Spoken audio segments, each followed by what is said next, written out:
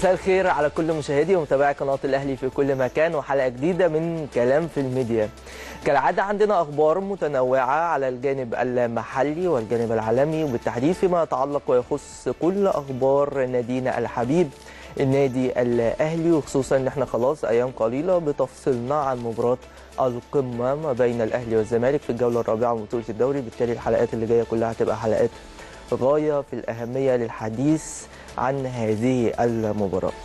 ضيف حلقتنا في حلقة النهاردة وفي الجزء الثاني بالتحديد الأستاذ محمد الدردير الناقد الرياضي بوكالة أنباء الشرق الأوسط وهنستفيد في الحديث في كل الجوانب بإذن الله.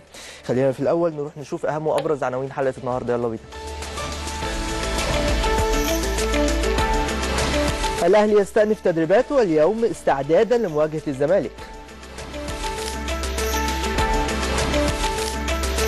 فايلر يتسلم تقريرا طبيا عن المصابين ويطمئن على السولية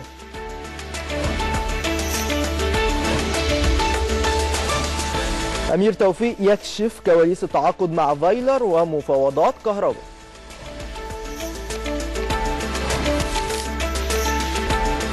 علي معلول الأهلي لا يقل عن أندية أوروبا وارتبط بعلاقة وارتبط بعلاقة مميزة مع الجماهير.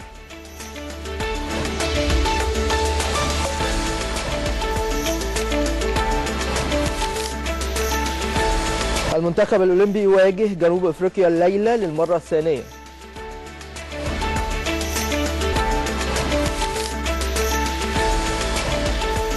المنتخب الأول يختتم تدريباته اليوم استعدادا لمواجهة بوتسوانا غدا.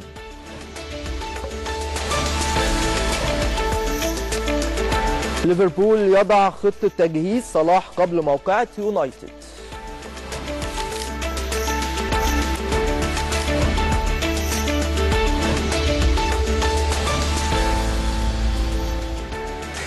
طيب الكلام هيبقى كتير جدا على مباراة الأهلي والزمالك واستعدادات الأهلي بالتحديد لهذه المباراة المرتقبة اللي مقرر إقامتها يوم السبت القادم في تمام الساعة الثامنة مساء لحد دلوقتي المباراة المفروض في استاد القاهرة.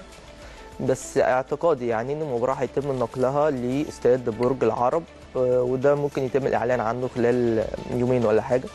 وهنشوف الأمور هتستقر على إيه في النهاية بخصوص مكان إقامة هذه المباراة. لكن في كل الأحوال النادي الأهلي بيستعد بمنتهى القوة لمباراة الزمالك والنهاردة استأنف استعداداته بالتحديد. بعد يومين كانوا راحة وأجازة للفريق سواء امبارح أو أول امبارح 48 ساعة أجازة. والاستئناف الخاص بالتدريبات بيكون النهارده في تمام الساعة الخامسة مساء يعني حوالي من من ساعة كده النادي الأهلي استأنف تدريباته واستعداداته لهذه المباراة. الاستعدادات كلها قوية في ظل غياب العناصر الدولية حتى الآن وإحنا عارفين العناصر الدولية بتتمثل سواء علي معلول مع منتخب تونس وعناصر المنتخب الوطني الأول والمنتخب الأولمبي ستة هنا وأربعة هنا ف 11 لعيب بيغيبوا يعني. و آه إن شاء الله بإذن الله ينضموا للتدريبات قريبا بالتحديد بداية من يوم الثلاث علي معلول هيسبقهم وهينضم للتدريبات بداية من بكرة بإذن الله. عشان نقرب من الصورة بشكل أكبر خلينا نروح سريعا لزميلنا العزيز شريف شعبان مراسل قناه الأهلي. يا شريف أهلا بيك. أهلا بيك تحياتي ليك يا زميلي أمير ولكل مشاهدي قناة النادي الأهلي في كل مكان زي ما تفضلت وقلت عشان نقرب شوية من تمرين النادي الأهلي أبدأ لك بخبر مفرح ليك ولكل جماهير النادي الأهلي. عمرو السولية جاهز لمباراة القمة. عمرو السولية بيشارك النهارده في التمرينات من أول دقيقة إلى الآن بيشارك في التقسيمة بكل قوة ظاهر بكل قوة. يمسك الخشب ما شاء الله عمرو السولية بيعلن جاهزيته. كويس كويس جدا. لمباراه القمة يوم السبت المقبل بإذن الله. فالحمد لله البوادر كلها بتشير إلى البرنامج الطبي الدكتور على أعلى على مستوى التجهيز على أعلى على مستوى شايف محمود متولي يمكن بيعمل التمرينات البدنية لوحده. حول الملعب ممكن تلاقي بكرة وبعد بكرة في التمرين بإذن الله. النهارده كريم نيدفيد أيضا بدأ النهارده أول يوم يشارك في الجري حوالين الملعب والحمد لله شكله مطمئن. بتتكلم في 10 أيام بإذن الله ويكون يبدأ خلاص بقى يخش في التمرين. مروان محسن أيضا أمامي.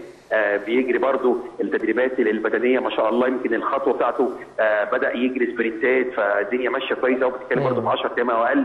يعني الحمد لله بتتكلم في أقل من أسبوعين هتلاقي بإذن الله بإذن الله بإذن الله الأهلي بدون إصابات. أنا حبيت أفرحك بس وأبدأ معاك يمكن بحالة المصابين في ال- النادي ده خبر مهم في الحقيقة. ليك خبر طبعا عوده آه السولية ال- ال- العنصر الهام في وسط ملعب النادي. يبقى تأكيدا لخبر الأمس عمرو السولية خلاص جاهز بنسبة 100% لمباراة الزمالك إن شاء الله. والنهاردة بيخوض التدريبات زي ما بيقول لنا زميلنا العزيز آه، شريف شعبان. بيخوض التدريبات من بدايتها حتى نهايتها. ده معناه إن اللاعب خلاص جاهز آه، بشكل تام. طيب يا شريف طمنا بقى على فقرات المران النهاردة وخصوصا الفريق استأنف تدريباته بعد راحة كانوا آه، يومين امبارح وأول. تمام. يمكن طبعا بعد أجازة استمرت حوالي يومين النهارده. مستر فايلر اجتمع مع اللاعبين ومدير الكرة الكابتن الح- عبد السلام الحفيظ طبعا واتكلموا مع اللعيبة حوالي خمس دقائق. التركيز فقط في مباراة ال- الدوري القادمة. التركيز فقط في مباريات الدوري فقط لا غير عدم التفكير أو أو الكلام حتى عن مباريات أفريقيا عن القرعة مين الفرق اللي الأهلي هيلاعبها لده سابق لاوانه ما حدش يتكلم يا جماعة. تحذير من المدير الكرة الكابتن سيد ما حدش يتكلم غير على مباريات الدوري التركيز فقط في المعترك المحلي وعدم الخوض في أي مباراة تخص بطولة أفريقيا إلى أن يجي ميعادها يمكن بعد هذه التعليمات أو المحاضره اللي استمرت حوالي خمس دقائق في الملعب يمكن كان في جري حوالين الملعب لفترة كبيرة لأن طبعا هم راجعين من أجازة طويلة وبعد كده كان في طلات والآن في تقسيم امامي في وسط الملعب يمكن بيتألق فيها السوليه نمسك الخشب بيتألق فيها.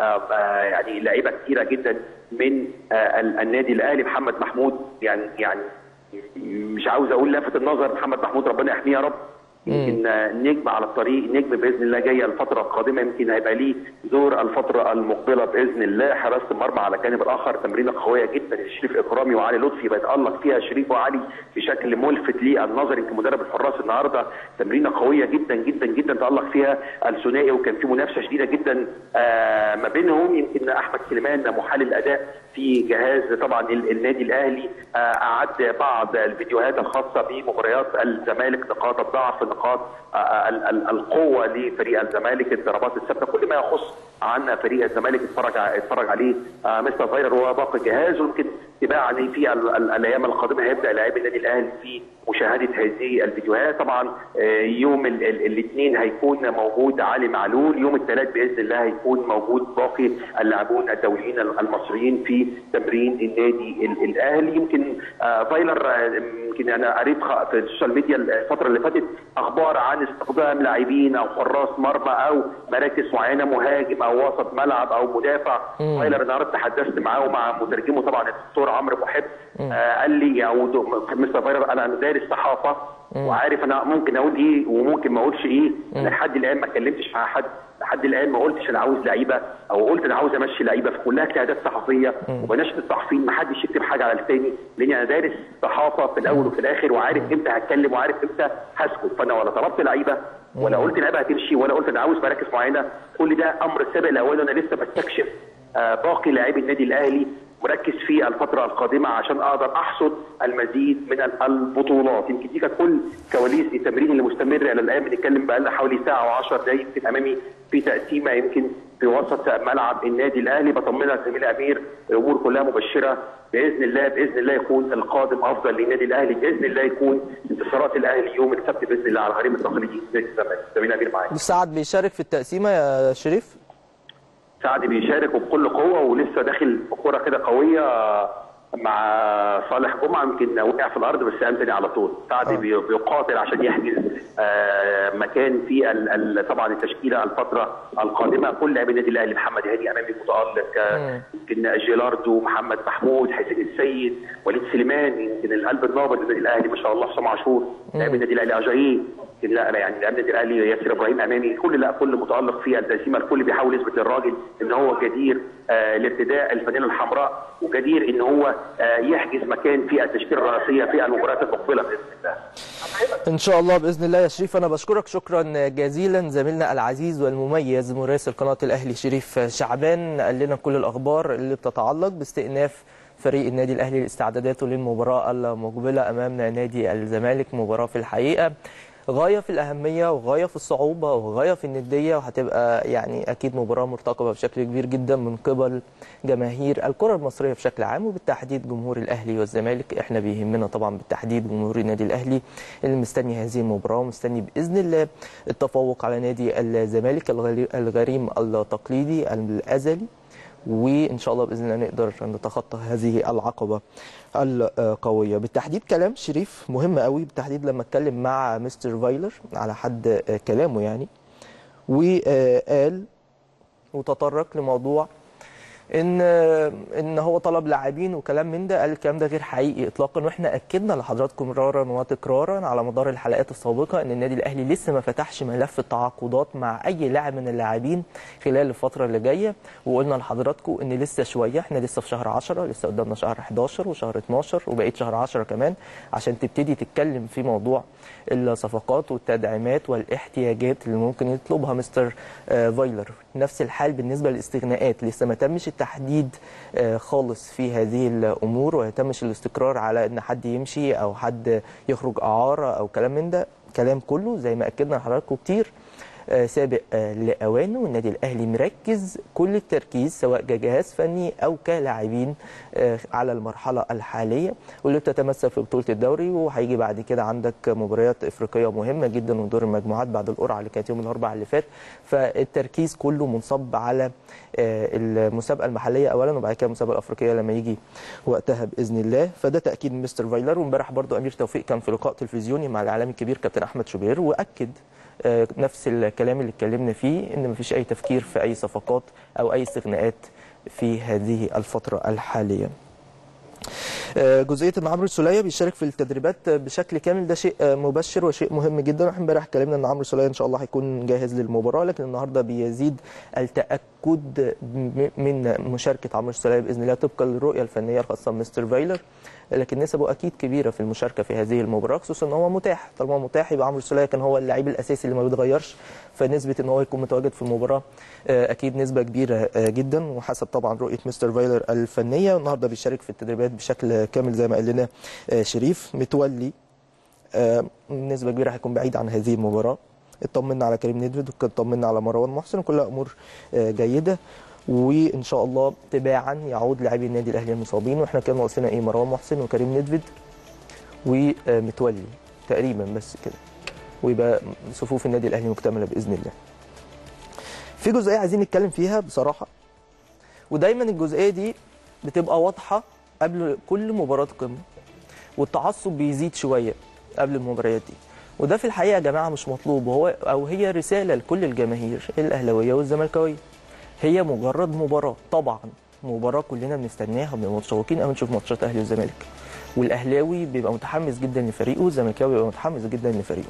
لكن خلينا دايما نبقى في الإطار الطبيعي بدون تعصب. يا سيدي مفيش مشكلة لو الأهلي كسب كسب غيظ صاحبك الزملكاوي. لو الزمالك لا قدر الله كسب غيظ صاحبك الأهلاوي ما فيهاش مشكلة. لكن يبقى في حدود. في إطار معين. مش عايزين دايما نغمة التعصب اللي بتسبق كل هذه المباريات في الحقيقة مباريات الأهلي والزمالك. كلنا في الآخر يا جماعة مصريين وكلنا منتمين ل- لكل نادي. وهو نداء في الحقيقة لكل الناس سواء اللي بيعملوا في قناة النادي الأهلي أو اللي بيعملوا في قناة الزمالك. أي حد بيتخطى حدود معينة أو بي- بيتطرق للمنافس آه، شيء ملوش أي لازمة في الحقيقة. ركز بس مع فريقك وركز بس مع كيفية إن أنت تساند آه، فريقك ولاعيبتك وتحفزهم معنويا قبل هذه المباراة دون التطرق لأي نادي آخر. ده شيء مطلوب جدا في الحقيقة علشان ال- التعصب ده هيؤدي لأمور كتيرة جدا جدا إحنا في غنى عنها. إحنا عايزين نتفرج على كورة عايزين نشجع فرقتنا بكل حماس وقوة دون التطرق لأي فريق آخر سواء زمالك أو غير زمالك. ركز مع فريقك بس وده شيء مطلوب في الحقيقة. فإن شاء الله نتمنى موضوع التعصب ده يقل شوية لأن نتائجه بتبقى سيئة جدا. ماشي عندنا أخبار كتير اتكتبت عن النادي الأهلي في الصحف نروح نشوفها. يلا.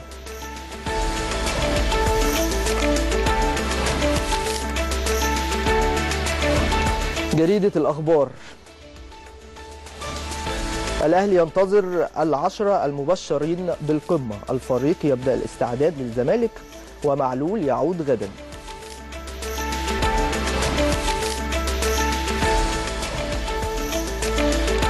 جريدة الأهرام الأهلي يحدد 29 نوفمبر موعدا لجمعيته العمومية الاعتماد الميزانية.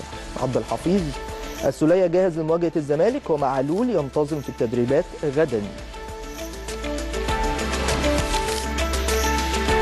الجمهورية أجاييه سلاح الأهلي في القمة. فايلر يستقر على النجيري وسلامة السولية روزا اليوسف الأهلي يجهز السولية لمواجهة الزمالك. انتظام الدوليين ثلاثاء والفريق يعود للمران بعد انتهاء الراحة. الأخبار المسائي الأهلي في مرحلة الجد. الفريق يستأنف تدريباته استعدادا للقمة ودروس خاصة للمدافعين. الوفد الأهلي ينفي العرض الصيني لأزارو ويؤكد جاهزية السولية للقمة. الصفوف تكتمل بعودة الدوليين الثلاثاء وبرنامج استشفائي قبل لقاء الزمالك. اليوم السابع الأهلي يرحب ببيع أزارو للصين مقابل 160 مليون جنيه. طوارئ في الفريق الأحمر استعدادا للزمالك. عمرو السولية جاهز للقمة ومتولي خارج الحسابات. الوطن. تأجيل صفقة المدافع في الأهلي بسبب سعد سمير وحجاز يعود للصورة. فايلر يدعم جيرالدو النادي يعلن جاهزية السولية للقمة والدوليون ينتظمون في التدريبات الثلاثاء أخبار الرياضة. القيع يحذر من التحكيم ويرد. لا تصدقوا الشائعات عن أزارو وجمعة وجيرالدو.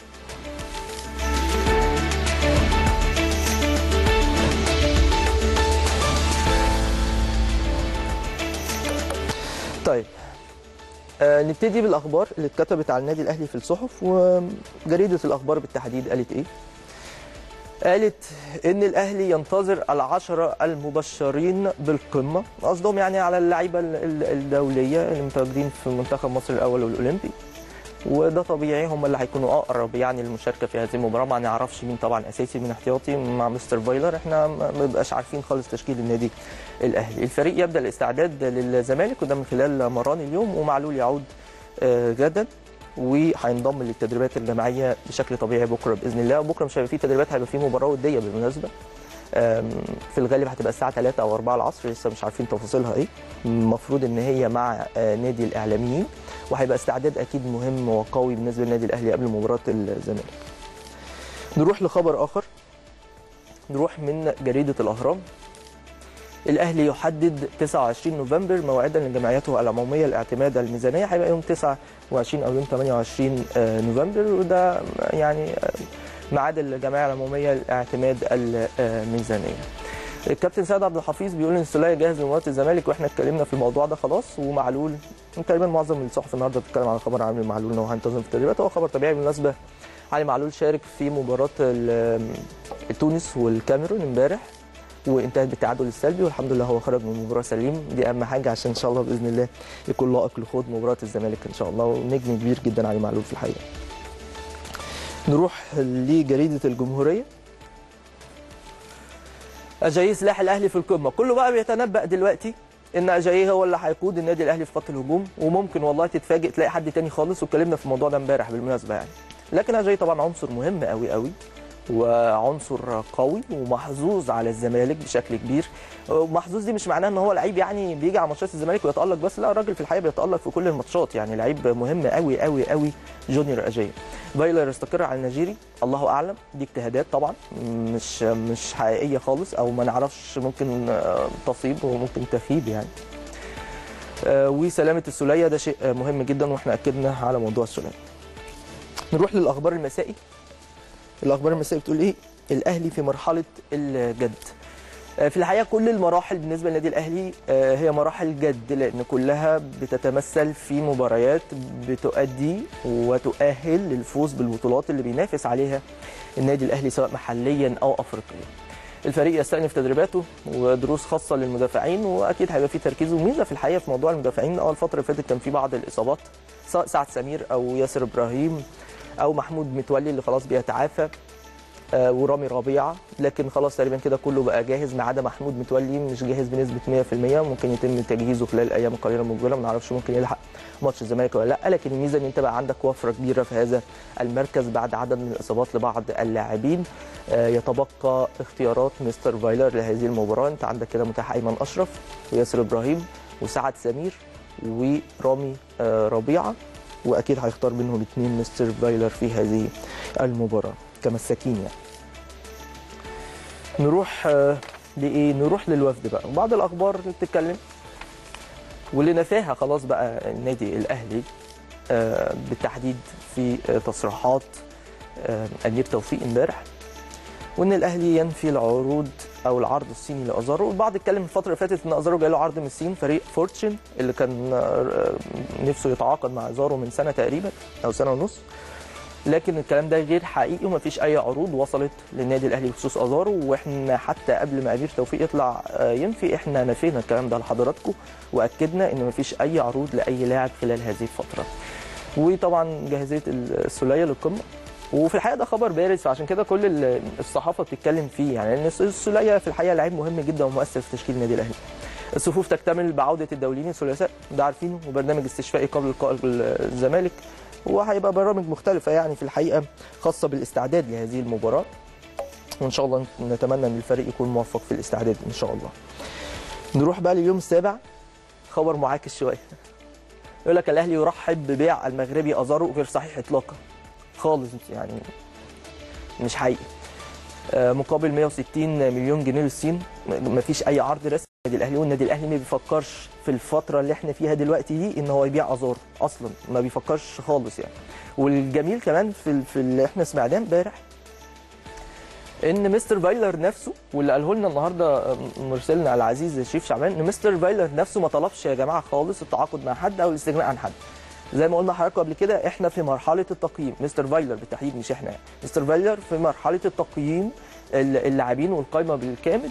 وبعد كده هو يقول بقى أنا محتاج في المركز ده محتاج لعيب معين أو شوفوا لي حد آه، أتفرج عليه ويعجبني. أو مش عايز اللعيب الفلاني مشوه أو ادوا أو باعوه يعني أو طلعوه عار يعني كلها أمور تتعلق بمستر فايلر وده مش هيكون في المرحلة الحالية اطلاقا يعني. موضوع أزارو يا جماعة الكلام دايما كتير وبإذن الله لما أزارو يتألق هتلاقي كل الأخبار دي مش موجودة زي ما حصل كده مع اجاي طوارئ آه، في الفريق الأحمر استعدادا للزمالك آه، استعداد بتبقى مختلفة طبعا ومهم. وعمرو السولية جاهز ومحمود متولي خارج الحسابات بنسبة كبيرة محمود متولي مش هيلحق هذه المباراة. نروح للوطن والكلام برضه على بعض الصفقات. مش عارف توقيت غريب جدا في الحقيقة.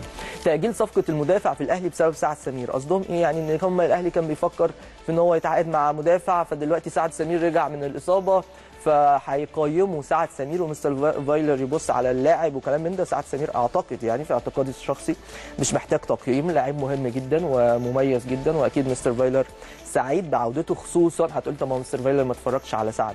لا مستر فايلر واضح جدا من التصريحات اللي سمعناها خلال اليومين اللي فاتوا.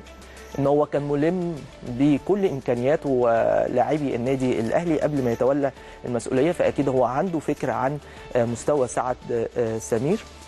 فموضوع صفقة المدافع ده مش حقيقي. حجازي يعود للصورة. طبعا أي حد يتمنى حجازي يبقى في في النادي الأهلي يعني أي حد من الأهلاوية طبعا. وأنا على رأسه يعني أنا أتمنى في الحقيقة أن أحمد حجازي يكون موجود لكن مفيش كلام خالص مع أحمد حجازي اطلاقا. وحتى لما هيبقى في كلام مش هيبقى في التوقيت ده برضه. فايلر يدعم جيرالدو جيرالدو لعيب مهم في قائمة النادي الأهلي وأكيد في حسابات الجهاز الفني زيه زي كل اللاعبين الموجودين في القائمة. والنادي الأهلي يعلن جاهزية الثلاثيه خلاص والدوليين ينتظمون في تدريبات الثلاثيه ده خلاص برضه. نروح أخبار الرياضة. أخبار الرياضة قالت إيه؟ قالت إن القيعي يحذر من التحكيم. وبيرد بيقول ما تصدقوش الشائعات عن ازارو وجمعة وجيرالتو أدي نفي آخر من مسؤول في النادي الأهلي هو مستشار التعاقدات المهندس عدلي اللاقيعي. آه، فبالتالي ده نفي آخر وتأكيد آه، من آه، شخصية أخرى وبارزة داخل القاعة الحمراء وهو المهندس عدلي اللاقيعي. ان ما فيش أي حاجة بخصوص آه، ازارو وصالح جمعة وجيرالدو إن كلام هو قال بالتحديد يعني إن كلام آه، عروض ع- لآزار وكلام من ده. ده كلام مش حقيقي وما حصلش. وفيما يتعلق باعاره صالح جمعة برضو أو بيعه كلام مش حقيقي خالص. وجيرالدو برضو نفس القصة الناس بتقول إن هو هيمشي في يناير. برضو الكلام ده لحد اللحظة دي. وطبقا لتصريحات المهندس عادل القيعي مستشار التعاقدات بالنادي الأهلي إن الكلام ده غير حقيقي اطلاقا. فما تصدقوش يا جماعة الأمور دي لأن كلها بيبقى الهدف منها بخلاف طبعا إن أي صحفي يعني زميل عزيز بيبقى بيحاول يجتهد وده شغله في الحقيقة. لكن في البعض بيبقى عنده أغراض أخرى وهي بتتعلق بتشتيت أذهان اللاعبين الموجودين في النادي الأهلي. لأن ممكن لعيب لما يقرأ الأخبار دي ما يركزش بقى يقول لك كده ده عايزين يمشوني أو أنا كده همشي أنا كده موقفي مش معروف ده يأثر على ادائه في التدريبات ولو الراجل عايز يدفع بينه في المباريات مش هيبقى موجود فبالتالي أنت بتأثر على الفرقة كلها. فكلام كله في الحقيقة مش توقيته خالص وغير منطقي. دي كانت أخبار الأهلي في الصحف أخبار الأهلي في المواقع. نشوف.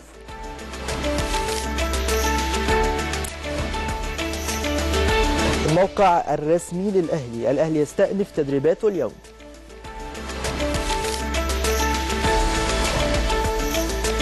اليوم السابع الأهلي يستفسر عن نقل مباراة القمة من القاهرة لبرج العرب. البوابة سبورت محاضرات بالفيديو للاعبي الأهلي استعدادا للقمة. فيتو. فايلر يطمئن على السولية ويحسم عودته لمران الأهلي الجماعي. بوابة أخبار اليوم. اليوم فايلر يجتمع بمساعديه للتحضير للزمالك. موقع يلا كورة الأهلي. تواصلنا مع جوزيه واسباليتي لخلافة لاسارتي في الجول الأهلي يكشف عن الرقم الحقيقي لصفقة الشحات ليس 150 مليون جنيه. صدى البلد مفاوضات كهرباء مدير التعاقدات بالأهلي يكشف مطالب فايلر للفريق. بوابة الشروق معلول. الأهلي لا يقل عن أندية أوروبا.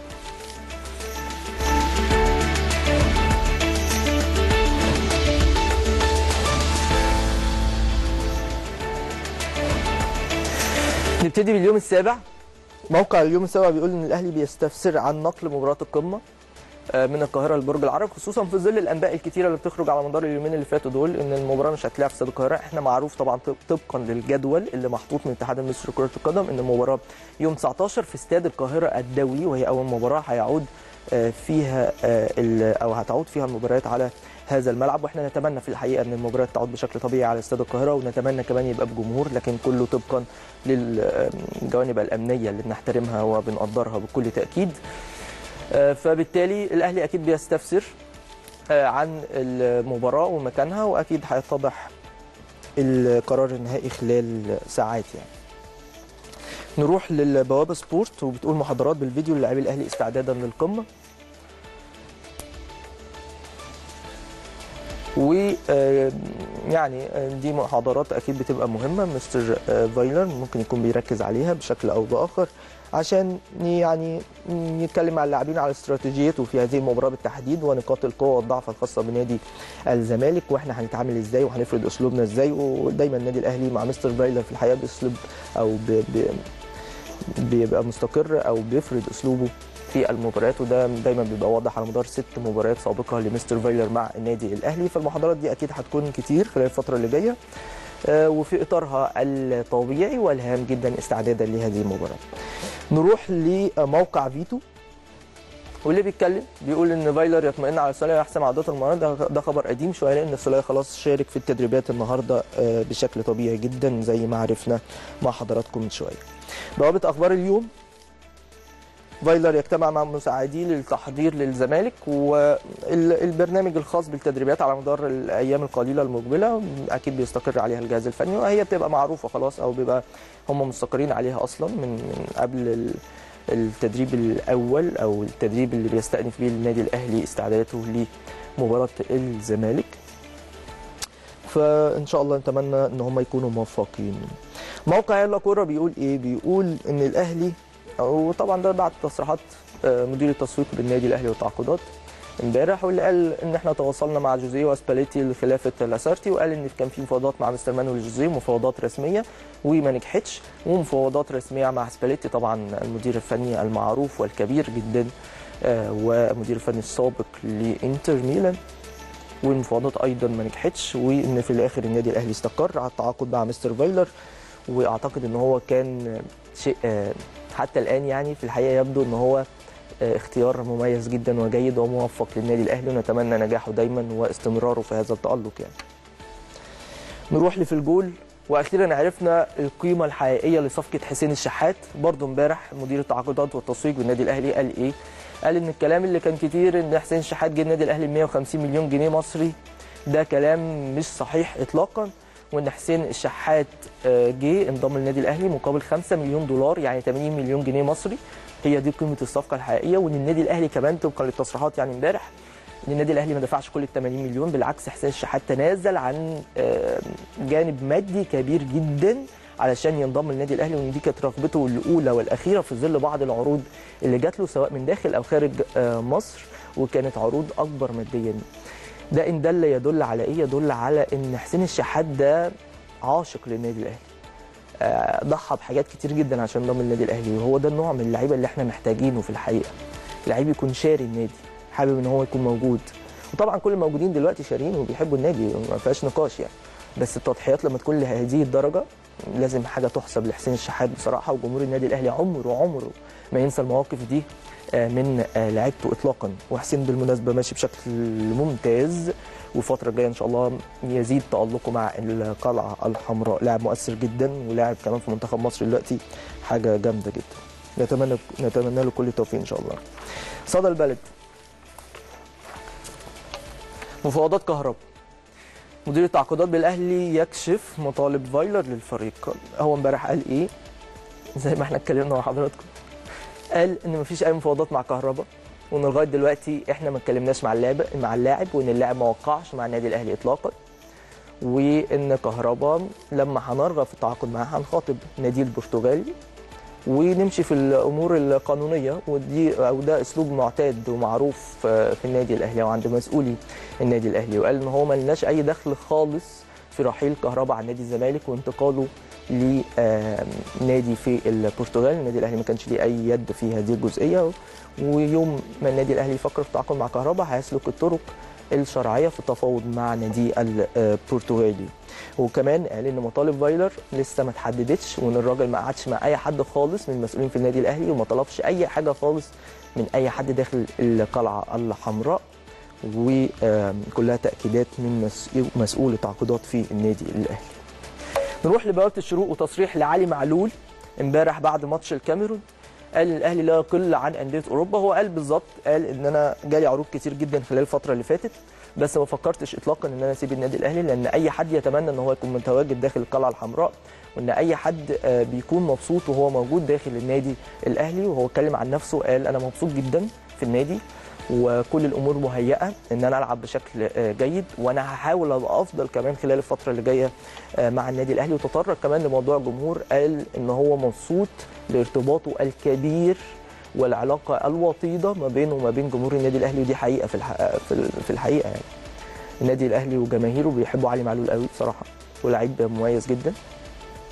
ودايما نتمنى له التوفيق لأنه أحد العناصر الأساسية المؤثرة في تشكيلة النادي الأهلي ولاعيب أهلاوي. واضح من تصريحاته يعني. طيب دي كانت أخبار الأهلي في المواقع. في أخبار محلية وعالمية نروح نشوفها.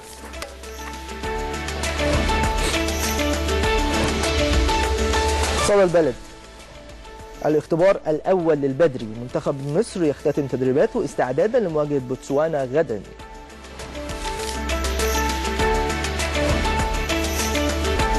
اليوم السابع البدري يكلف بركات باستكشاف جزر القمر في رحلة أو في رحلة خاصة.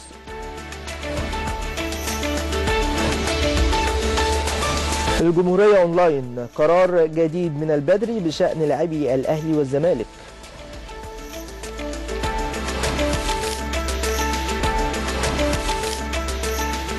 سوبر كورة اليوم المنتخب الأولمبي يواجه جنوب أفريقيا باستاد القاهرة.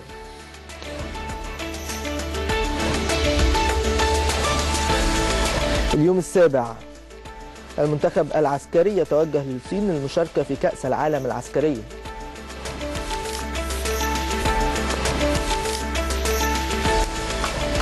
يلا كورة. ليفربول يضع خطة تجهيز صلاح قبل موقعة يونايتد.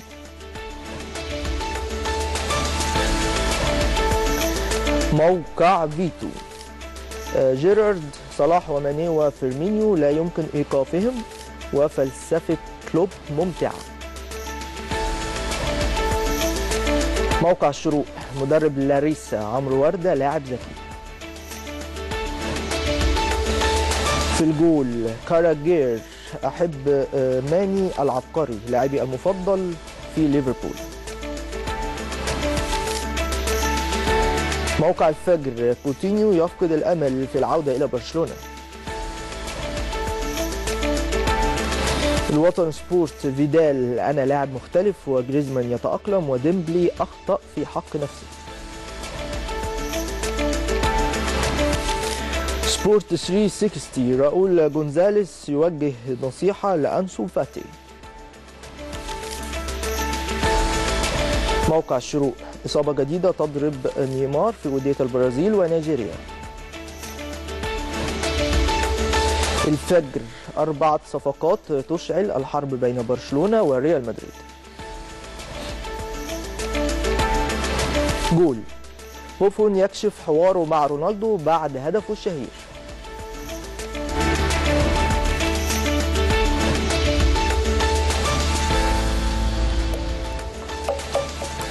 نبتدي من صدى البلد.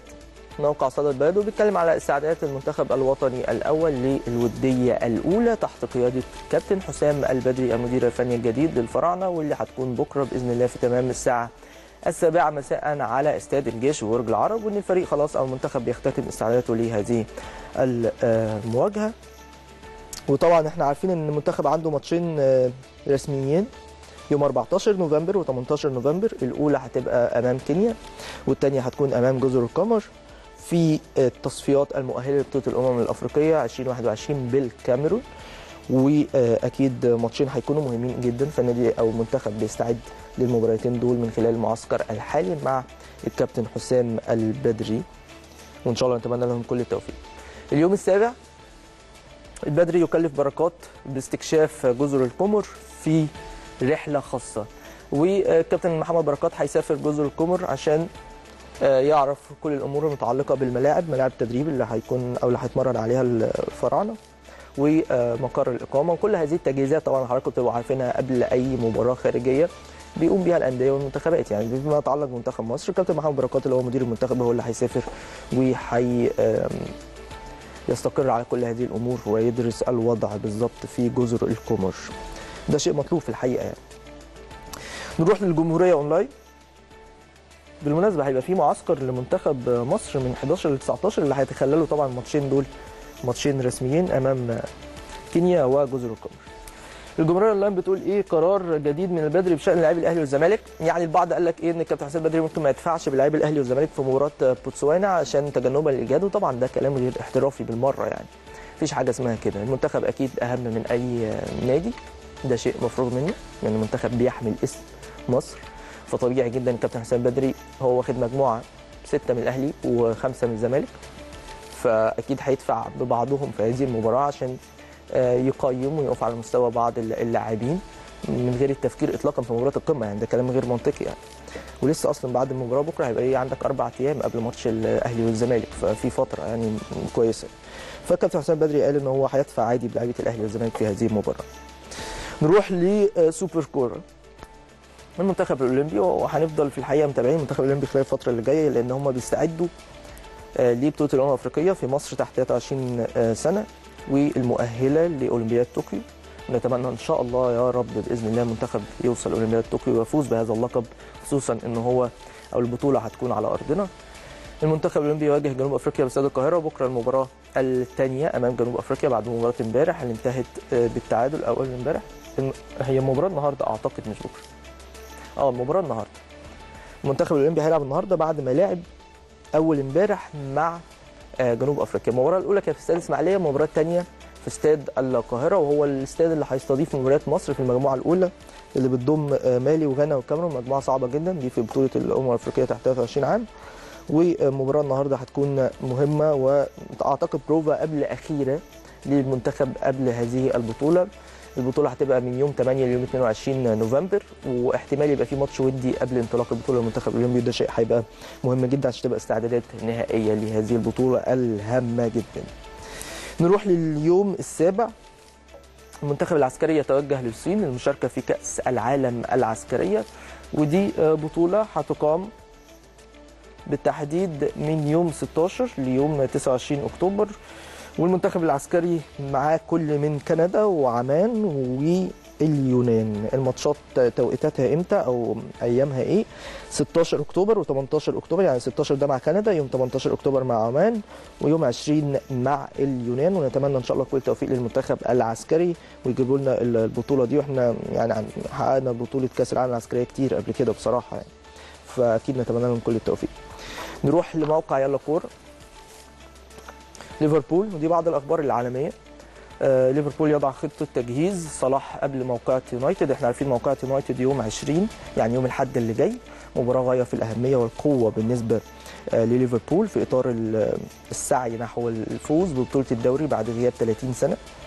محمد صلاح إحنا عارفين إن هو تعرض لإصابة قوية من آه، في مباراة آه، ليستر الأخيرة اللي انتهت بفوز ليفربول 2-1 الهدف كان جه في الآخر من ضربة جزاء لميلنر وكان محمد صلاح قبليها بدقيقتين اتعرض لإصابة قوية بعد تدخل آه، قوي من حمزة تشودري آه، لاعب وسط آه، ليستر.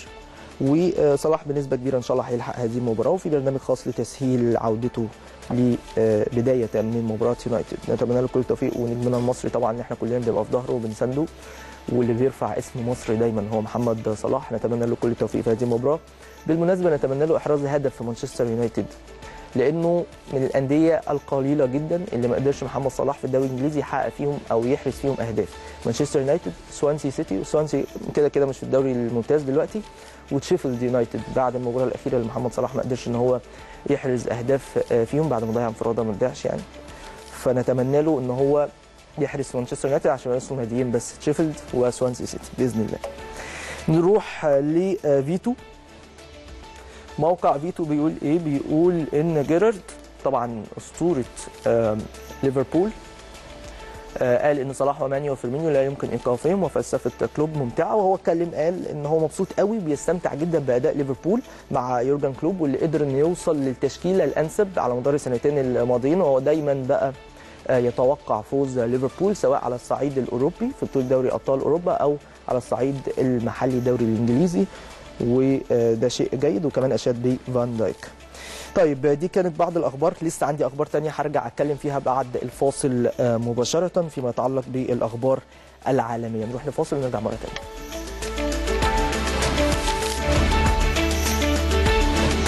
عالمية بالتحديد ومن آه، جريدة الشروق أو موقع الشروق بتقول إيه؟ بيقول إن مدرب لاريسا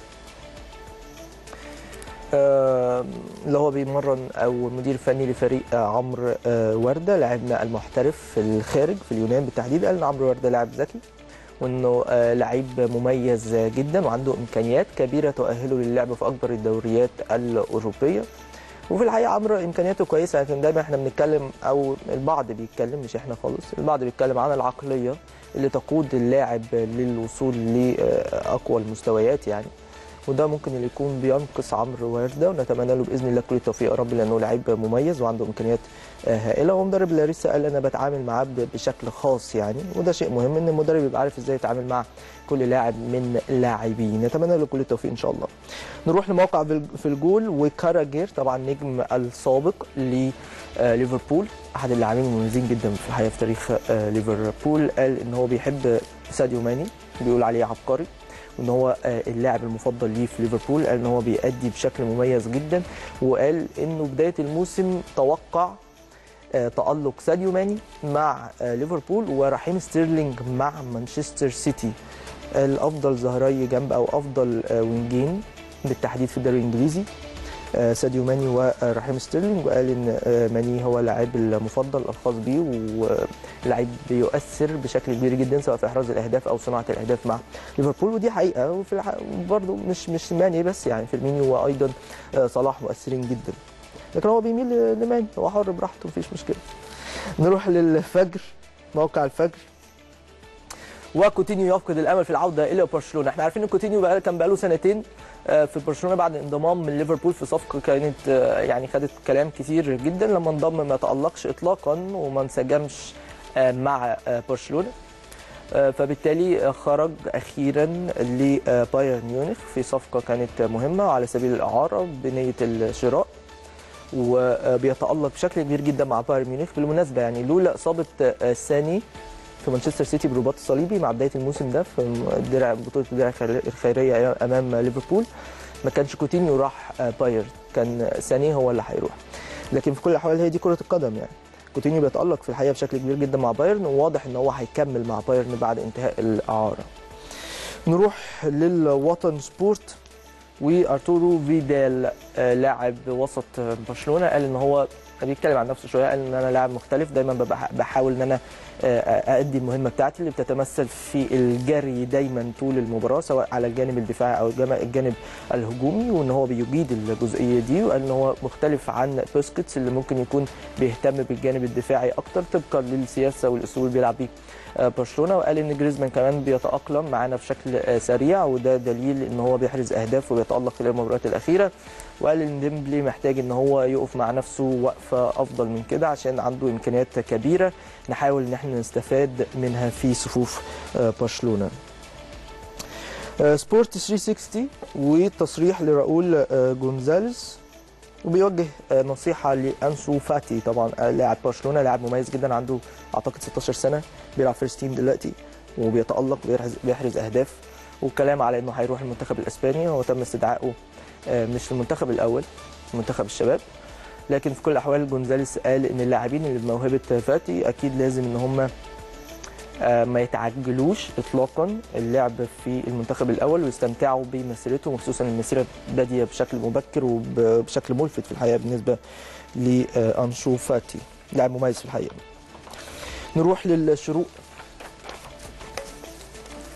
بتقول إصابة جديدة تضرب آه، نيمار في وديه البرازيل نيجيريا. النهارده كان في ماتش ودي ما بين البرازيل ونيجيريا في تمام الساعة الثانية ظهرا. المباراة انتهت بالتعادل الإيجابي 1-1 واحد واحد ونيجيريا كانت آه، تقدمت آه، في الأول بهدف لجو أريبو في الدقيقة 35 وكازيميرو اتعادل في الدقيقة 48 وانتهت المباراة 1-1 لكن الأهم إن نيمار في الدقيقة 12 بالظبط تعرض لإصابة في العضلة الخلفية وبعد كده تيتي اللي هو المدرب آه، المنتخب البرازيلي قرر إن ينزل كوتينيو مكان آه، نيمار. وأعتقد إن هو هيغيب لفترة لأن الإصابة واضح إن هي إصابة آه، قوية. شد في العضلة الخلفية هياخد أسبوعين ولا حاجة يعني بالنسبة آه، لنيمار. نروح للفجر موقع الفجر وأربع صفقات بتشعل الحرب بين برشلونة وريال مدريد. الصفقات اللي هي مين أو الأسماء مين بالظبط؟ آه، كيليان مبابي طبعا باريس سان جيرمان وفابيان من نابولي وهافرتس آه، لاعب باير ليفركوزن وكامافينجا لاعب رين الفرنسي. قالوا إن كشافي الفرقتين بيبقوا متواجدين في كل المباريات الخاصة بهؤلاء اللاعبين علشان يستقروا في النهاية على التعاقد آه، معاهم من عدمه. بس بالتحديد يعني مبابي مش محتاج كشافين خالص يعني. مبابي لعيب آه، عالمي يعني لعيب كبير قوي. فاللي هيقدر يفوز بخدمات مبابي هيفرق معاه في 10 سنين جايين يعني. فهنشوف مين اللي هيقدر يفوز بهذه الصفقات من برشلونة وريال مدريد ودايما التنافس ما بينهم دائم نروح لموقع آه، جول واللي بيتكلم على بوفون حارس يوفنتوس واللي بيكشف آه، حواره مع رونالدو بعد هدفه الشهير. إحنا عارفين طبعا الصورة باينة كده الهدف بتاع آه، رونالدو الشهير في مرمى يوفنتوس دوري الأبطال هدف باك وورد وهدف تاريخي. ما نقدرش ننساه طبعا. فبالتالي كان في حديث كده آه، بوفون بيقول إن أنا اتضايقت قوي لما الجون ده جه فاتكلمت مع رونالدو بقول له أنت عندك كام سنة؟ قال له 33 آه، مش سيء صح؟ فرد عليه قال له طبعا يعني قال له أنت حرزت هدف آه، عالمي يحرزه لعيب أصغر من كده بكتير. فتطرق طبعا بوفون وقال اللاعب آه، أو رونالدو طبعا لاعب رائع وبيتفاعل بصورة جيدة مع زملائه في آه، يوفنتوس. طبعا آه، رونالدو مش محتاج كلام اطلاقا ولعيب مهم. آه، يوفنتوس أكيد بتحاول تستفاد آه، منه تسويقيا وفنيا. وأعتقد رونالدو لو قدر إن هو يحقق ال Champions League مع يوفنتوس هتبقى حاجة كبيرة قوي قوي بالنسبة آه، لرونالدو. ويوفنتوس قادر على تحقيق هذا اللقب في ظل امتلاكهم لعدد كبير من اللاعبين المميزين في جميع الخطوط. وده هدفهم الأساسي السنة دي إن هم يحققوا ال Champions League خصوصا إن هم بيحققوا الدوري بقى لهم سبع سنين ورا بعض تقريبا يعني. وخصوصا ان في ظل منافسة قوية مع إنتر ميلان بالتحديد في الكالتشيو لكن هم أكيد عندهم فرص كبيرة في ال Champions League وهنشوف الأمور هتبقى هتستقر على إيه بالنسبة ليوفنتوس. دي كانت بعض الأخبار المحلية والعالمية اللي اتكلمنا فيها مع حضراتكم. هنروح لفاصل سريع. بعد الفاصل هينورني ويشرفني في الاستوديو الأستاذ محمد الدرديري الناقد الرياضي بوكالة انباء الشرق الأوسط ونتكلم في بعض الأمور الهامة أبرزها طبعا مباراة القمة ما بين الأهلي والزمالك. استنونا بعد الفاصل.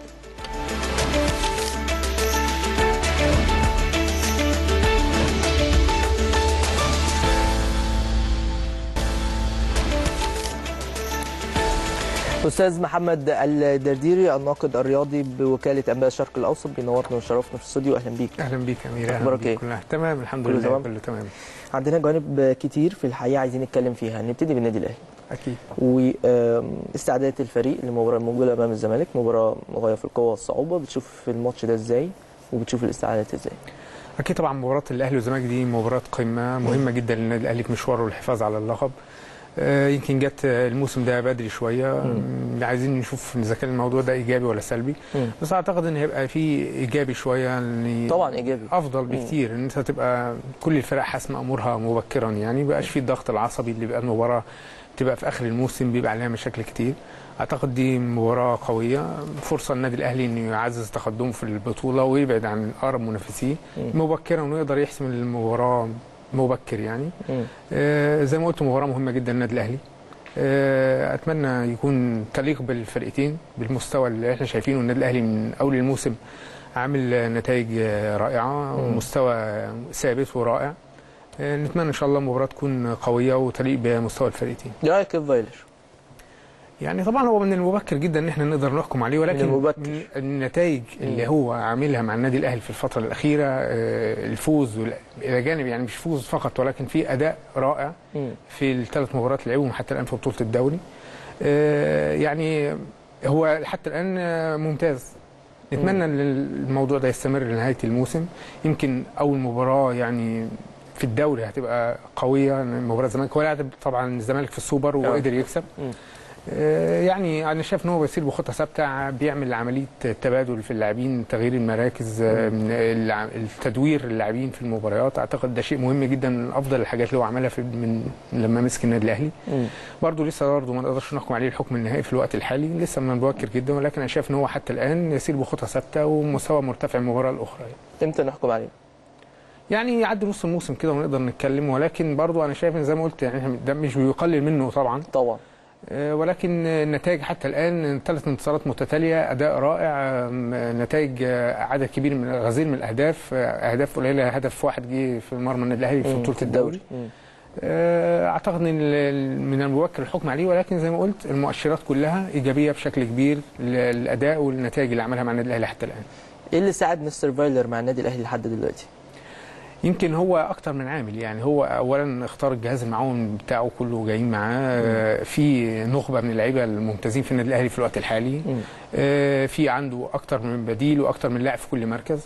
وزي ما قلت بيعمل عملية التدوير. آه، في يعني ما فيش تشكيل ثابت إلى حد ما في مباريات النادي الأهلي الفترة الأخيرة. ولكن الميزة إن على الرغم من كده إن كل اللعيبة اللي بتشارك بتأدي في المكان اللي فعلا، بتشارك فعلا. فيه. وتبذل أقصى جهد. وتطلع كل اللي عندها وده اللي واضح لجماهير النادي الأهلي إن المستوى ثابت وإن في آه، مكسب وفي جمالية في الأداء كمان مم. بتتوقع التشكيل آه، الخاص بالنادي الأهلي في مباراة القمة هل ممكن يبقى في تغيير برضو تدوير من مستر آه، فايلر ولا بعد مباراتي الإنتاج وأسوان اللي كان في تقارب كبير جدا في التشكيل ما بين المباراتين دول متوقع إنه يستمر بنفس التشكيل. أعتقد هيبقى في استمرارية في نفس التشكيل ده في مباراه الزمالك. مش م. وقت يعني مباراة قمة مش هي المباراة اللي ممكن يدي فيها يعمل فيها عملية تبديل كبيرة في التشكيل. مم. آه، الفوز مهم جدا للنادي الأهلي في المباراة دي. أعتقد إن هيبقى التشكيل إلى حد ما ثابت. في يمكن بعض اللعيبه زي عمرو السولية مصاب أعتقد إنه هيرجع وهيلحق مباراه هيرجع. خلاص هو جاهز آه يعني أعتقد إن التشكيلة هيبقى ثابتة الفترة اللي جاية ومباراة القمة يعني مش هيبقى فيها تغييرات كبيرة في التشكيل بالعكس أعتقد إن يبقى أغلب المراكز واضحة ومعروف ال- المشاركين فيها يعني. مستبعد إن يبقى في مفاجأة يعني صعب هو زي ما قلت هو في من بداية الدوري بيعمل تغيير في كل مباراة وشايفين إن في لعيبة بتشارك وبتأدي البديل على نفس مستوى اللعيب الأساسي يمكن من بداية الموسم إحنا بالفعل ما فيش بديل وما فيش أساسي في النادي الأهلي مم. كل اللعيبة أغلبها شاركت وأغلبها أدت بنفس المستوى. آه، ممكن طبعا تكتيكيا يكون في بعض المفاجآت هو ممكن يعملها سواء في تغيير طريقة اللعب أو في مشاركة لاعبين ما شاركوش قبل كده. ولكن أعتقد إن الأمور واضحة في النادي الأهلي وهو ده كله يرجع لفايلر يعني هو الأدرى في الفترة اللي جاية خاصة أنا عارف إن الفترة اللي جاية دي كم يوم قبل المباراة وبعد عودة اللاعبين الدوليين في جلسات مكثفة مع اللاعبين ومع الجهاز المعاون لتجهيز المباراة دي. هيبان في الفترة اللي جاية إذا كان في تغييرات بالفعل هتتم ولا هيستمر بنفس المستوى. اللاعبين اللي ممكن بإذن الله يرجحوا كفه الأهلي في مباراة القمه مين ممكن من وجهة؟ يعني زي ما قلنا النادي الأهلي من بداية الموسم ده على المستوى على المستوى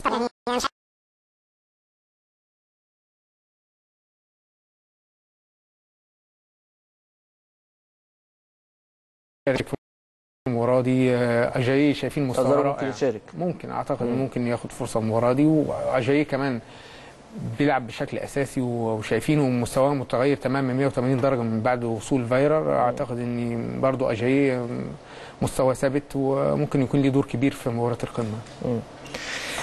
متوقع إن المباراه تبقى شبيهة لمباراة السوبر ولا في اختلاف؟ يمكن مباراة سوبر النادي الأهلي كان ضاغط من بداية المباراة واستحوذ على أغلب الفترات في الشوط الأول و- ويمكن مباراة سوبر بتبقى مباريات الكؤوس دي بتبقى ليها ضغط عصبي أكبر. أعتقد أن نفسيا و- وبدنيا مباراة الدوري هتبقى مختلفة شوية عن مباراة السوبر لا أعتقد ان هيكون النادي الأهلي أهدى اعصابا وفي النهاية اللي هيقدر يسيطر على المباراة ويسيطر على منطقة وسط الملعب هيقدر يحسم المباراة لصالحه. التأثير الإيجابي اللي ممكن يكون للفريق الفائز بإذن الله في هذه المباراة أتمنى إن شاء الله يكون النادي الأهلي ممكن يوصل لحد فين؟ أو ممكن يكون إيه؟ بيتمثل في إيه؟ أكيد هي دفعة معنوية كبيرة خاصة مباراة القمة في بداية الدوري زي ما قلنا في الأسبوع الرابع. أعتقد إن مهم جدا الفوز بيها. لو الأهلي قدر يحقق الانتصار هينفرد على القمة و- ويبعد عن أقرب منافسيه ويقدر يعطل منافسه نادي الزمالك شوية أعتقد ان لا معنويا هتفرق كتير مع النادي الأهلي إنه يكسب المباراة دي في الفترة اللي هي المباراة مهمة جدا زي ما قلت في بداية الدوري ولكن ليها تأثير معنوي كبير على لعيبة النادي الأهلي وعلى نتائجه وعلى ادائه وعلى فرق النقط اللي هيبقى بينه وبين الزمالك المنافس ليه اتحاد الكرة استقر أو لجنة ال- الحكام اتحاد الكرة استقرت على الحكام ولا لسه؟ لسه لحد دلوقتي ما فيش متأخرين شوية؟ آه يعني هو بس طبعا كمان المباراه يوم سبت وبيبقى أغلب الأسبوع الجاي بس إحنا عارفين ان الدوري. المباراة يوم سبت من زمان يعني هو المفروض طبعا يكون في مخاطبات تمت طبعاً. من فترة طويلة للمباراة دي بس هو يمكن من عادة اتحاد الكرة ما بيعلنش عن أسماء الحكام قبل يوم أو اثنين من المباراة حتى مم. هو ممكن يكون في متفقين مع طاقم معين ولكن هم ما بيعلنوش غير قبلها بيوم أو اثنين طبعا عن الطاقم المباراة اللي هيدير المباراة قمة. أعتقد ان ما فيش أزمة في الموضوع ده تماما. هيتم قبلها بيوم أو اثنين بالكثير هيتم إعلان عن ال- ال- الطاقم التحكيم اللي هيدير المباراة. مكان المباراة فين؟ طبقا لمعلوماتك يعني. يعني هو النهارده كان في بعض الكلام إن هو ممكن تنقل لبرج العرب ولضمان حضور جماهيري يعني ولكن يعني أعتقد لضيق الوقت هيتم رفض يعني هي لو راحت برج العرب هيبقى فيه جمهور؟ ولا في كل الأحوال مفيش جمهور سواء استاد القاهرة أو برج العرب؟ هو اتحاد الكرة هو اللي طلب تتنقل لبرج العرب عشان يحاول يدخل عدد من الجمهور حلو. يعني ولكن ما أعتقدش يعني في الوقت الضيق ده هياخدوا موافقة على كده. أعتقد المباراه هتقام في استاد القاهرة وبدون جمهور. في استاد القاهرة بدون جمهور. طب أنهي اللي إيجابي أكتر؟ يعني مباراة تتلعب في استاد القاهرة ولا تروح برج العرب بجمهور؟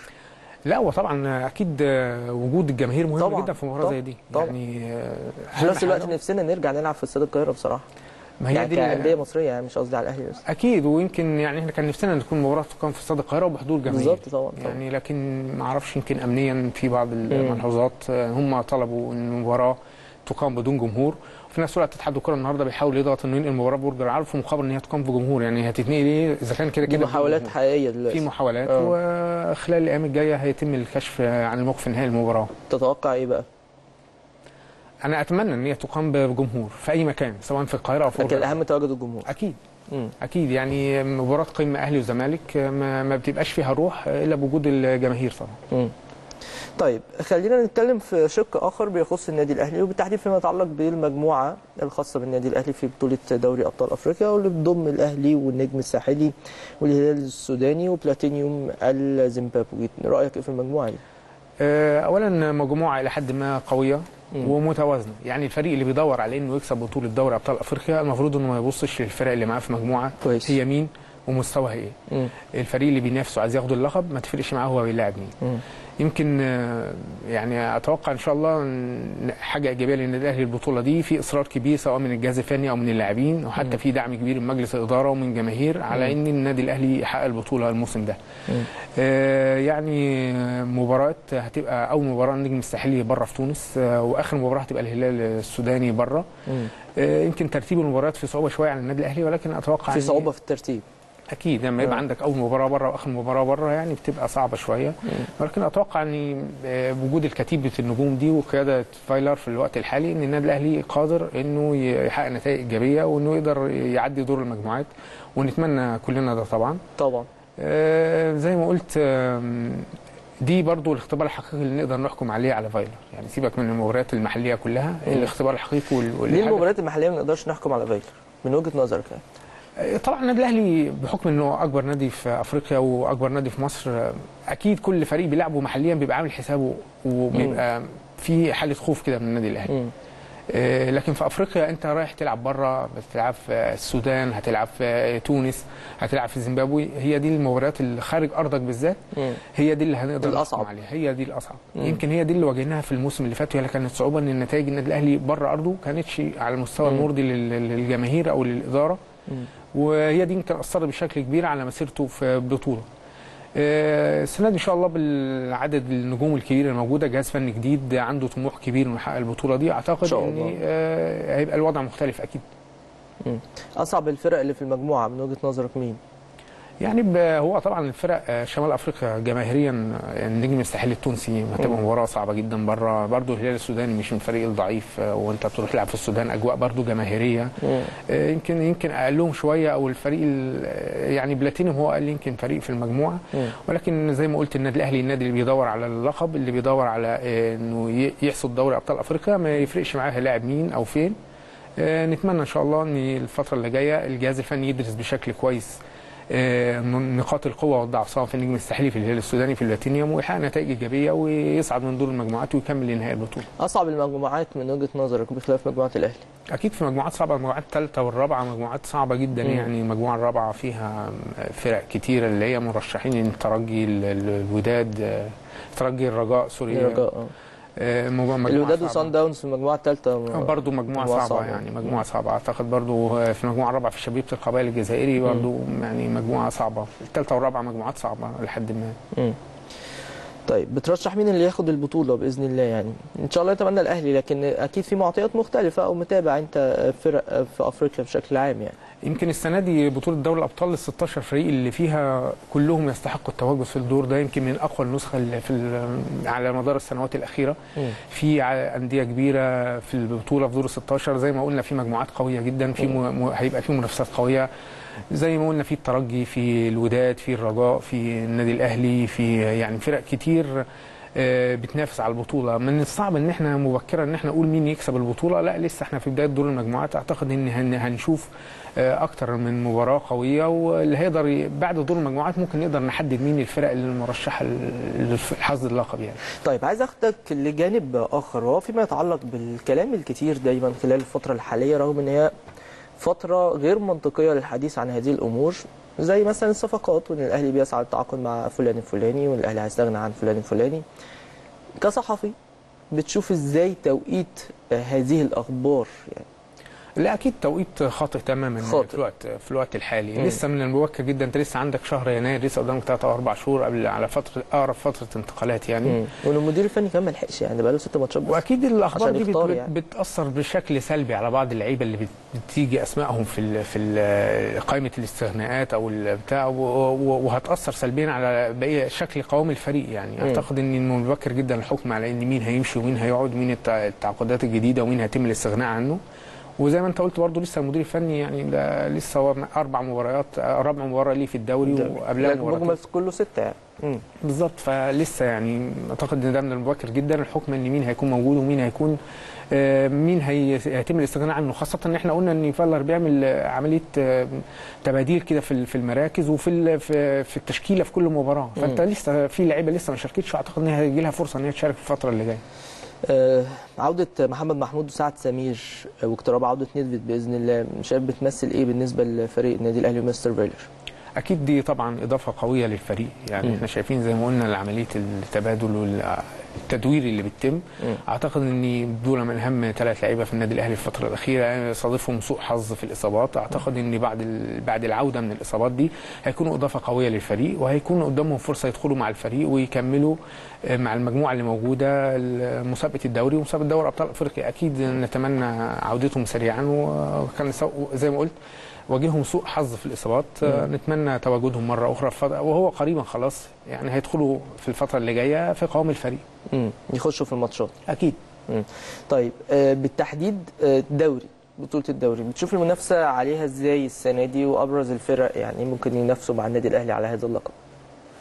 يعني آه، لسه برضو إحنا في بداية الموسم النادي الأهلي ما شاء الله ماشي بخطى ثابته- حقق العلامة الكاملة في البطولة حتى الآن. آه، زي ما شفنا برضو في منافسة من الزمالك وبيراميدز على آه، وخلف النادي الأهلي آه، على القمه مم. أعتقد إن المنافسة دي هتستمر الفترة اللي جاية آه، الزمالك وبيراميدز الزمالك وبيراميدز أكيد يعني هم أبرز منافسين. للنادي آه. الأهلي آه. في على بطولة الدوري الموسم ده سواء بالصفقات اللي هم جابوها. أو بال ال- ال- شكل المنافسة زي ما شفنا حتى بالنتائج يعني. هم هم اللي خلف النادي الأهلي على الصدارة في الوقت الحالي.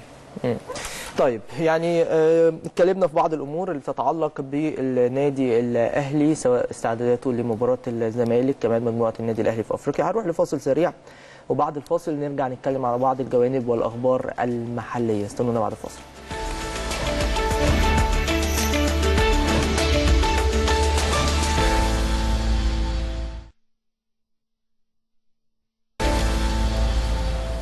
نتكلم شوية عن المنتخب الأول المنتخب الأولمبي وإزاي بتشوف استعدادات المنتخب الأول لمباراة بوتسوانا ومدى أهمية هذا المعسكر بالتحديد اللي بيتخلله هذه المباراة يمكن بالنسبة للمنتخب الأول معسكر مهم أول تجمع للمنتخب في حضور بقيادة الكابتن حسام البدري مم. أعتقد إن ده فرصة كبيرة للعيبة التعارف مع الجهاز الفني الجديد ويعرفوا إيه ال- الخطط المستقبل المستقبلية للجهاز الفني إيه الهدف من تواجدهم في المعسكر وإيه الجهاز الفني بيقول لهم طبعا الخطة للفتره اللي جاية إيه آه، يمكن مباراة مش قوية قوي هي مش قدام منتخب قوي مم. ولكن هي فرصة للجهاز الفني للتعرف على اللاعبيه وإمكانياتهم وخاصة في عدد كبير من الوجوه اللي اختارها الكابتن حسام بدري آه، تستحق التواجد في المنتخب الفترة دي مم. آه، نتمنى إن شاء الله زي مين. مثلاً؟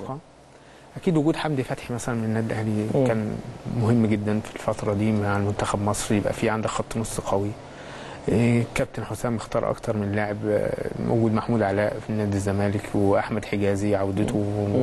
بقوة مع المنتخب عودة أحمد فتحي طبعا مهم طبعاً، جدا أكيد، للمنتخب أكيد. وجود أيمن أشرف عبد- دخول عبد الله جمعة برضه المنتخب مم. أعتقد ده شيء مهم جدا لصالح منتخب مصر مم.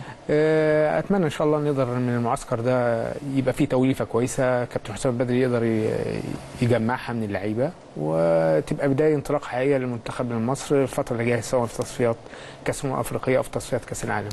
تتوقع التشكيل إيه النهارده؟ بكرة. يعني هو التشكيل يعني ما أعتقدش هيبقى فيه تغييرات كبيرة هيكون الشناوي أساسي في حراسة المرمى وممكن قدامه أحمد علاء ومحمود علاء وأحمد حجازي مم.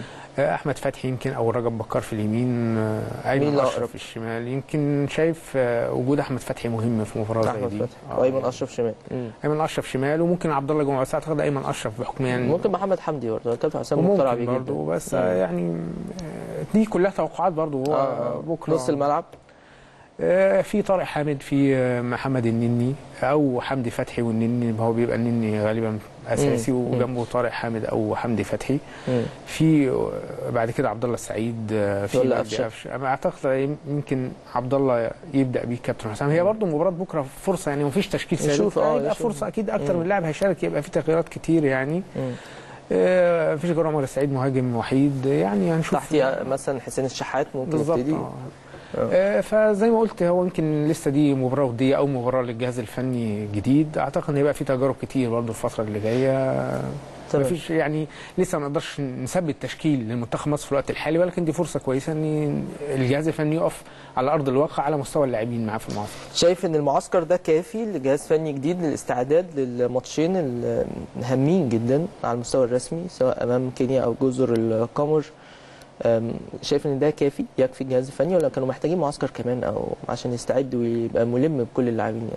يمكن هو يعني ولا عشان مدير فني وطني يعني آه كابتن حسام مش غريب على الكرة المصرية طبعا. طبعاً. عارف مستوى اللعيبة وعارف إمكانيات اللعيبة الموجودة في الدوري المصري. واللعيبة كمان المصريين المحترفين بره. وخاصة مع الرغم من أهمية المباراتين اللي جايين الرسميتين بس هو مش مش مباراة مش أمام منتخبات قوية يعني. أعتقد ان المباراة بكرة كافية إنه يقدر يحكم على أكتر من لاعب آه، تبقى إيه، يعمل توليفة كويسة قبل المباريات الرسمية اللي جاية. في ظل أكيد عودة صلاح كمان هتبقى إضافة قوية. أكيد طبعا يمكن هو ما شاركش أو ما انتظمش في المعسكر ده. ظروف الإجهاد آه، مقتنع بموضوع ظروف يعني ده اللي؟ قيل يعني يمكن هو هو اتصاب في آخر ماتش يعني بتاع ليستر سيتي في الآخر آه، كده لكن هو كانوا. أعلنوا قبل مباراة ليستر سيتي إن بسبب الإجهاد بالظبط يعني. من قبل إصابته دي تم الإعلان إن هو هيتم إراحته في المعسكر ده ومش هيكون مم. موجود يمكن برضو زي ما قلت هي مباراة بكرة مش مباراة الم- مش أمام منتخب قوي يعني مم. هي تجربة ودية الجهاز الفني بيحاول يختار توليفة من اللاعبين ويعمل فريق يبدأ يكون منتخب لمصر الفترة اللي جاية ولكن أكيد طبعا وجود محمد صلاح مهم جدا في الفترة اللي جاية مع المنتخب. أعتقد إنه هيكون منتظم بشكل أساسي في المباريات الرسمية اللي جاية لازم يكون موجود طبعا. طيب بالنسبة للمنتخب الأولمبي لعبوا أول امبارح مباراة ودية والنهاردة كمان شوية عندهم مباراة ودية أخرى مع نفس المنتخب اللي هو منتخب جنوب أفريقيا. بتقيم إزاي الاستعداد بتاعهم الخاص ببطولة الأمم الأفريقية؟ بطولة مهمة جدا للمنتخب طبعاً، الأولمبي طبعاً. طبعا بطولة مؤهلة للأولمبياد وبطولة صعبة ومجموعة بتاعتنا كمان صعبة عندنا الكاميرون وغانا ومالي ثلاث فرق قوية. مم. آه، أعتقد إن الجهاز الفني كابتن شوقي غريب بيحاول يعمل توليفة برضو من اللاعبين في الفترة دي. عنده بصراحة قماشة كويسة في عنده بصراحة. الفترة دي في المنتخب الأولمبي عنده لعيبة على مستوى عالي جدا. آه، نتمنى إن شاء الله في المباراتين الوديتين سواء المباراة اللي اتلعبت قبل كده أو مباراة النهاردة اللي هتقام بعد. آه، نقدر يعمل حاجة كويسة يقدر يكون آه، فريق كويس يقدر يعمل تشكيلة كويسة خاصة زي ما قلت المباريات في ال- في ال- اللي هي كأس الأمم المؤهله للاولمبياد دي مباريات صعبة جدا مم. نتمنى الفترة اللي جاية إن المنتخب الأولمبي آه، يعدي ال- ال- البطولة دي ونتأهل للأولمبياد إن شاء الله. أبرز العناصر من وجهة نظرك في المنتخب الأولمبي أكيد في أكتر من عنصر مهم في المنتخب الأولمبي أبرزهم لعيبة النادي الأهلي سواء رمضان عمار حمدي مم. آه، صلاح محسن يعني في لعيبة كتير في توليفة كبيرة وفي أحمد حمدي كمان من الجونة وفي في عدد كبير من. اللعيبة آه،. في أسامة جلال مدافع إنبي ده لاعب مميز. جدا فأعتقد إن المنتخب الأولمبي. برضو يعني عندنا منتخب مميز عندنا مجموعة لعيبة مميزين. مم. آه نتمنى إن شاء الله إن هم يحققوا أملنا ان هم يتأهلوا لدورة الألعاب الأولمبية و- ويعني في ظل المجموعة اللي معانا دي شايف إن الأمور صعبة ولا نقدر نوصل؟ هو في الأعمار السنية دي ال- يعني م- مجموعة المنتخبات اللي معانا يعني أنا شايف إن هي برضو مش سهلة. امم مش سهل مش سهلة لا طبعا مش سهلة. أعتقد المباريات هتكون أنت صعبة عندك جدا. معاك غانا والكاميرون ومالي يعني دي مجموعة دي يمكن مالي يمكن تكون أقواهم في في المرحلة كمان. العمرية دي. مم. يعني الناس فاهمة إن الكاميرون وغانا هي لا أنا شايف إن مالي هي أقوى في المرحلة العمرية دي. مم. آه، أقوى منتخب هيكون مع هينافسنا بقوة يعني. أعتقد إن إن شاء الله نقدر نحقق حاجة خاصة أعتقد ان هيكون في طبعا حضور جماهيري كبير لمؤازرة المنتخب الأولمبي في ال-. في ال- في ال- في البطولة دي. مم. نتمنى إن شاء الله يحققوا نتائج إيجابية ونقدر طبعا هو أول ثلاثة بيتأهلوا لدورة الألعاب الأولمبية. إن شاء الله نتأهل نصعد من المجموعة الأول ونتأهل إن شاء الله لدورة الألعاب الأولمبية اللي هي الحلم الكبير للمنتخب الأولمبي والجيل ده كله طبعا. مباراة النهارده لما نشوفها إن شاء الله المنتخب الأولمبي نقدر نقيم المنتخب نقدر نحكم هل هم قادرين على الوصول ولا لأ ولا مش مقياس يعني. أكيد المباريات الوديه بتبقى مش مقياس بشكل كبير يعني. هو بالعكس أنت ممكن تشوف شكل المنتخب عامل إزاي آه، الخطة اللي بيلعب بيها إزاي ولكن كتشكيلة لاعبين أغلب المباريات الوديه بت- أنت بتبقى برضو بتختار تشكيلة مش هي الأساسية اللي بتلعب بيها مم. بيبقى مباراة للتجربة يعني بتجرب لعيب في مركز أو بتجرب خطة معينة أو تكتيك معين مم. صعب إن إحنا نحكم على مستوى منتخب من مباراة وديه طبعا ونتمنى لهم التوفيق طبعا في الفترة اللي جاية نتمنى لهم يا رب كل التوفيق لأن ده شيء هيكون مهم آه، جدا. سواء لمنتخب مصر الأول إن هم يكونوا موفقين في التحديات المقبلة بتتمثل في التصفيات المؤهلة لأمم أفريقيا 2021 في الكاميرون. وكمان هيبقى مقبلين على تصفيات كأس العالم ده شيء غاية في الأهمية بالنسبة للشعب المصري كله. وكمان فيما يتعلق بالمنتخب الأولمبي نفسنا أكيد إن إحنا نوصل للأولمبياد. طبعا نفسنا إن إحنا نحقق البطولة على أرضنا إن شاء الله الأول. وبالتالي نتأهل لاولمبياد طوكيو 2020 وإحنا قادرين بشكل كبير جدا في ظل امتلاك المنتخب الأولمبي للعديد والعديد من العناصر اللي بتلعب بشكل أساسي في الدوري المصري وهي عناصر بالمناسبة المفروض تبقى موجودة في المنتخب الأول. صحيح. وواضح إن في تنسيق جيد ما بين الكابتن حسام بدري والكابتن شوقي غريب. أكيد طبعا. يعني زي ما حضرتك قلت آه، بالفعل اغلب اللاعبين اللي موجودين في المنتخب الأولمبي مش زي زمان. بتحس إن هم لاعبين اللي مش بيشاركوا بشكل أساسي بالعكس. أغلب المنتخب الأولمبي بيشارك بشكل أساسي مع فرقه في الدوري الممتاز. وده الشيء الجيد والشيء الكويس. أعتقد إنه هينعكس بشكل إيجابي على مستوى المنتخب وعلى نتائجه إن شاء الله في البطولة الأفريقية اللي مؤهلة للاولمبياد إن شاء الله. طبعا كون البطولة على أرضنا وسط الجماهير المصرية وفي استاد القاهرة ده ممكن يكون دافع قوي وإضافة للمنتخب صح؟ أكيد طبعا. وأعتقد إن هيبقى في دعم جماهيري كبير للمنتخب في البطولة دي البطولة على أرضنا وفي استاد القاهرة. والمجموعة الثانية هتبقى في استاد السلام يعني حتى البطولة كلها هتقام في مدينة القاهرة هنا. أعتقد إن ده شيء جيد وهيدي دفعة معنوية كبيرة للاعبتنا وللمنتخب الأولمبي إن هم يحققوا نتائج إيجابية وإن شاء الله تحقيق حلم الجيل ده إنه يتأهل للأولمبياد. يا رب يا رب بإذن الله. وتاهلنا للأولمبياد تتوقع مين الثلاثه اللي يبقوا المنتخب الأول مع كابتن شوقي؟ والله دي يعني هم بيختاروا ثلاثة طبعا بيختاروا ثلاثة آه، عارفين من- بيبقى تاخد ثلاثة من المنتخب الأول يعني من الكبار يعني. أكيد الكابتن شوقي هيبقى ليه رؤية معينة في بعض المراكز اللي عايز يطعم بيها المنتخب الأولمبي ولكن أكيد في أعتقد يعني الناس كلها تتمنى إن محمد صلاح يكون موجود أكيد. مع مع المنتخب أكيد في في الألعاب ممكن مين الأولمبية. تاني ولا يعني- حسب يعني التوقيت آه يعني ساعتها ممكن تريزيجيه مثلا. ممكن ممكن يعني هو لو شايف إنه عايز في في الخط الوسط الهجومي وفي مركز الهجوم أكتر دعم أكيد هيبقى صلاح وتريزيجيه هيكون ليهم. طبعا. هم أفضل الاثنين لاعبين يكونوا يقدروا المنتخب الاولمبي في المركزين دول في- الوقت الحالي يعني. طيب عايز أختم معاك بماتش الأهلي والزمالك لأن هو ده الأهم من خلال الفترة الحالية وخلاص أيام قليلة جدا وتوقعاتك المباراه إحنا اتكلمنا عنها باستفاضة لكن أنت تتوقع المباراة دي إيه؟ يعني يمكن التوقعات صعبة في مباراة القمة بالذات صعب إن أنت تت- تتوقع مين يقدر يكسب المباراة. ولكن أنا شايف إن حالة ال- الهدوء اللي في النادي الأهلي حالة ال- الحالة الإيجابية. المعنوية الكويسة آه، والنتائج ال- المستوى الثابت والمستوى المرتفع من المباراة الأخرى في الفترة الأخيرة بيرجح كفته عن نادي الزمالك في المباراة دي. ما أقدرش أقول نتيجة معينة تقدرش. لكن أعتقد إن العوامل دي كلها بترجح كفة النادي الأهلي. في المباراة اللي جاية إن شاء الله. نتمنى كل التوفيق للنادي الأهلي في مباراة الزمالك طبعا ونتمنى إن شاء الله النادي الأهلي يفوز في هذه المباراة ويضيف سل... يضيف ثلاث نقاط أخرى لرصيده عشان يوصل ل 12 نقطة ويبعد بدري بدري عن نادي الزمالك فرق خمس نقاط ومباراة طبعا صعبة جدا. أنا بشكرك يا محمد شكرا جزيلا نورتنا وشرفتنا. شكرا جزيلا ربنا كان ضيفنا العزيز الأستاذ محمد الدردير الناقد الرياضي بوكاله أنباء الشرق الأوسط واتكلمنا في العديد من الجوانب المحلية وكمان فيما يتعلق بالنادي الأهلي دي كمان كانت حلقتنا النهارده من كلام في الميديا. استنونا حلقة جديدة بكرة إن شاء الله. إلى اللقاء.